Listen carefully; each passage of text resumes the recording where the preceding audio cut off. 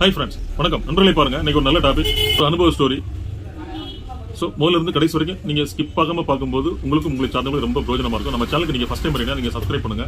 Bell பண்ண press பண்ணி நீங்க ஆளுங்கிற ஆப்ஷன்ல வைக்கும்போது திறந்து உங்களுக்கு இரண்டு வீடியோக்கள் உங்கள் கவனத்தை வந்தடை உங்களுடைய அட்டென்ஷன் கிரியேட் ஆகும். பாருங்க நண்பர்களே. அதாவது இது ஒரு இண்டக்ஷன் ஸ்டவ் இந்த இண்டக்ஷன் ஸ்டவ் நம்மளுடைய கிளைண்ட் நம்மகிட்ட வாங்கினது தான். அவங்க ஒரு த்ரீ ஃபோர் இயர்ஸ் ஒர்க் பண்ணிட்டே இருக்கிறாங்க. அவங்க அப்பப்போ இதை யூஸ் பண்ணிக்கிறாங்க.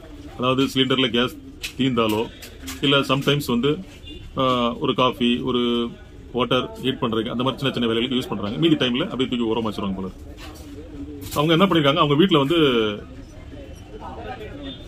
இதை யூஸ் பண்ணிட்டு இருக்கும்போது ஏதோ சின்ன வோல்டேஜ் ஃபிளக்சுவேஷன் சின்ன ஃபால்ட் இருந்திருக்குது. அப்படியே தூக்கி என்ன பண்ணிட்டாங்க? சின்ன ஃபால்ட் இருந்த உடனே உடனே அதை சர்வீஸ் பார்க்காம அப்படியே ஒரு ஓரமா தூக்கி வச்சிட்டாங்க.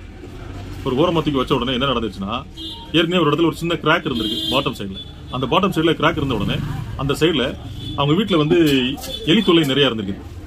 அப்போ என்ன நடந்திருக்குது? அந்த இடத்துல கிராக் இருந்த உடனே அந்த எலி என்ன பண்ணிட்டு அதை அப்படியே அந்த கிராக் சைடில் அப்படியே கொஞ்சம் கொஞ்சமாக கொஞ்சம் ஓட்ட போட்டு உள்ளே போய் குடும்பம் நடத்த அதாவது அது எப்பவுமே நண்பர்களே ஒரு விஷயம் நல்லா புரிஞ்சுக்கிங்க. எந்த ஒரு எலக்ட்ரானிக்ஸ் எக்யூப்மெண்ட்டுகளையும் எலி உள்ள போயிடுச்சுன்னா டோட்டலாக அது வந்து அது டெமாலிஷ் கண்டிஷன் தான்.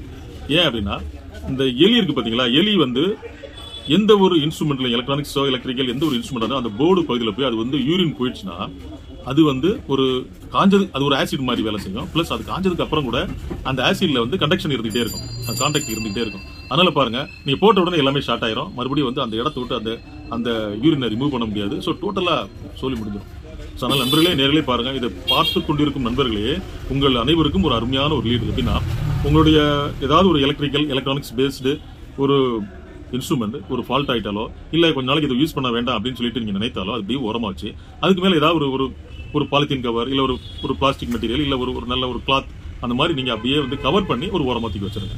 இல்லை அப்படின்னு சொன்னால் நான் சொன்னேன் இல்லையா இதே சம்பவம் உங்களுக்கு நடக்கும். ஸோ பாருங்கள் ஒரு சின்ன அதாவது ஒரு சின்ன ஃபால்ட்டு தான்.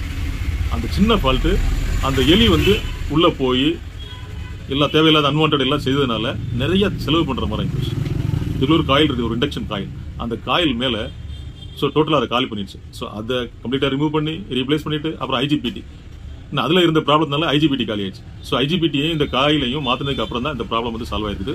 ஸோ நண்பர்களே பாருங்க இதை பார்த்து கொண்டு இருக்கும் எல்லோருக்குமே ஒரு அருமையான ஒரு டிப்ஸ் கொடுத்துருக்கேன்.